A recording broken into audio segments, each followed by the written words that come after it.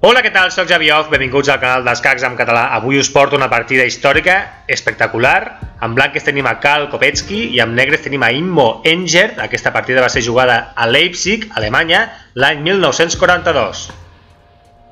Kopetsky va sortir amb obertura de peu de rei, UE4, les negres van contestar E5, això se'n diu joc de peu de rei, en anglès King's Pawn Game. Us recomano la visualització del vídeo del joc de peu de rei que en aquest canal, d'aquesta manera tindreu clares quines són les variants que se'n deriven d'aquesta posició les blanques van continuar amb cavall F3 amenaçant el peó E5.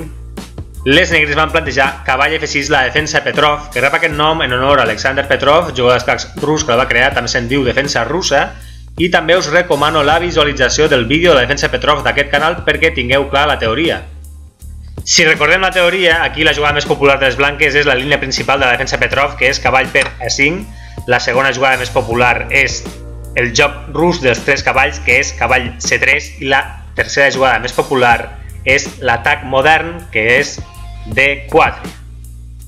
Les blanques van optar pel joc rus dels tres cavalls, que és cavall C3. Si recordem la teoria, aquí la jugada més popular de les negres és cavall C6, joc rus dels quatre cavalls. La segona jugada més popular és alfil B4 i la tercera jugada més popular és D6 defensant el peó E5. Les negres en aquest cas van optar per alfil B4.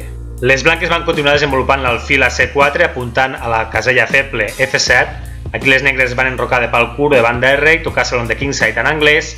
Aquí les blanques van fer D3 protegint aquest peó. D5 amenaçant l'alfil de C4. Aquí E per D5, cavall per D5 i aquí hi ha una pressió amb aquest cavall que està sent atacat per dues peces, mentre que només està sent defensat per un peó. I aquí les blanques, en lloc de posar l'alfil a D2 protegint el cavall, van decidir enrocar-se. Després veurem per què ho van fer. Aquí les negres doncs, van aprofitar cavall per C3, peó per C3, alfil per C3 amenaçant la torre, la torre s'aparte a B1, cavall C6, van continuar desenvolupant, Cavall G5, aquest cavall G5 no només està apuntant a la casella H7, sinó que també apunta a la casella E4, una casella molt bona pel cavall perquè amenaçaria l'alfil. Aquí les negres van fer H6 fent fora el cavall, cavall E4 amenaçant l'alfil i l'alfil el va posar a D4. Aquí les blanques van continuar un moviment molt important que és reina H5. Aquesta reina ha pogut anar a H5 perquè ja no hi ha el cavall aquell que les negres van utilitzar per guanyar un peó de més. Per això les blanques es van deixar perdre un peó per tindre aquesta zona lliure de cavall i per tant la reina pogués viatjar tranquil·lament a H5 per atacar, diguem-ne, l'enroc contrari. Aquí les negres estan bastant incòmodes, hi ha aquesta reina aquí davant de l'enroc i aquest alfil apuntant a F7 i van decidir moure el cavall a 5 per a carregar-se aquest alfil. Podeu parar aquí perquè hi ha una jugada de les blanques que és molt espectacular, boníssima. Quina és la millor jugada per les blanques en aquesta posició? Les blanques van moure al fil G5, amenaçant a la seva reina. Aquí les negres no poden matar aquest alfil, perquè si ho fessin, cavall per G5 i l'escac mat és imparable. Per tant, el millor que podien fer les negres és apartar la reina d'aquesta amenaça. Llavors, la reina on pot anar? Tampoc pot anar a gaires llocs. Fixem-nos-hi bé. Aquesta reina no pot anar a cap lloc d'aquesta diagonal.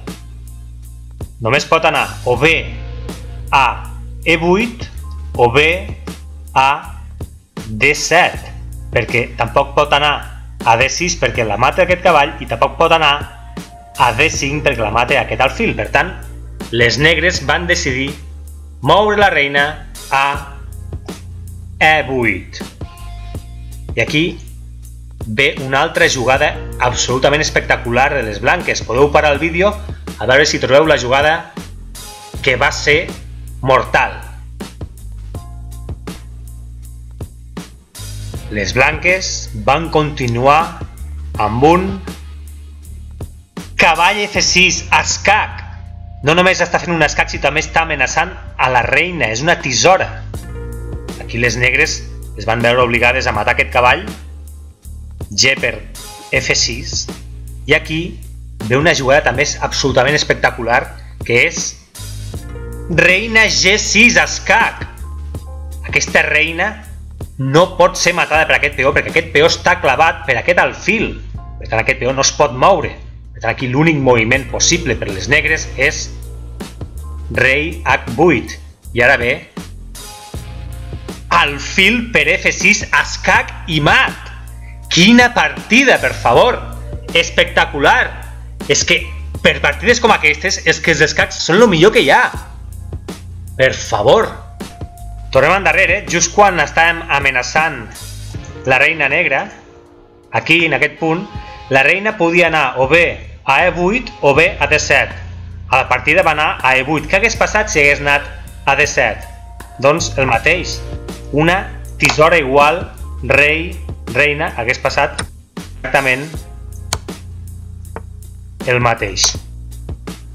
S'haguessin pogut salvar les negres? Tornem a la jugada clau, que era quan les blanques amenaçaven la reina negra amb l'alfil, aquesta d'aquí, aquí les negres haguessin pogut moure, per exemple, l'alfil a G4, amenaçant la reina blanca. Aquí la reina mataria l'alfil i aquí les negres podrien, per exemple, matar aquest alfil, però aquí mat també és bastant inevitable. Eh?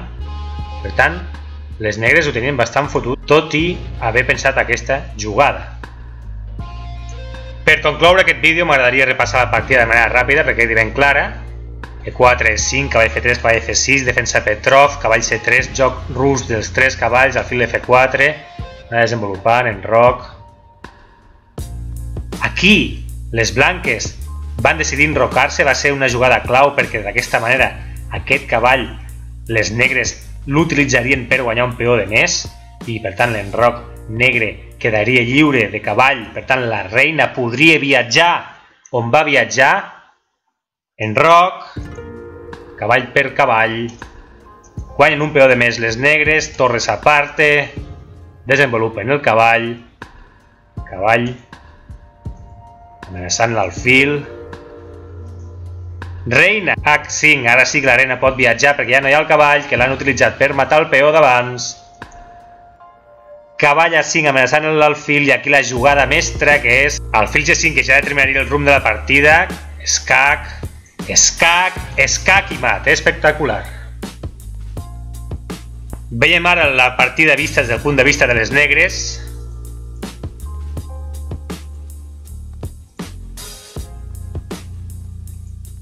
Aquí les negres guanyen un peó de més, però sacrificant el cavall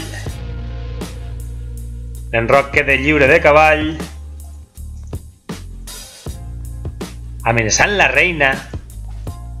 Escac, escac, escac i mat. Impressionant. I fins aquí aquest vídeo d'escacs en català.